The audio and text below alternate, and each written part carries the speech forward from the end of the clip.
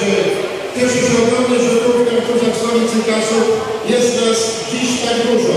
To świadczy o tym, że sport pływacki cieszy się również w Kartuzach i w Polsce ogromnym szacunkiem. I z tym szacunkiem do Was się zwracam, że rzeczywiście pływacie w sposób rewelacyjny. Życzę Wam, żeby wszystkie Wasze zamierzenia się udały. Chciałem przy tej okazji e, poprosić bo mieliśmy ogromną galę sportu, na której ja powinien być.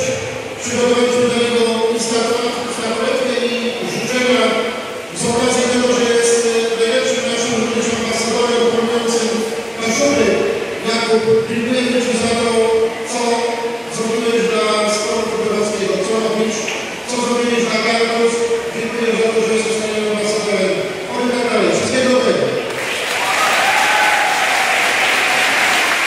Спасибо,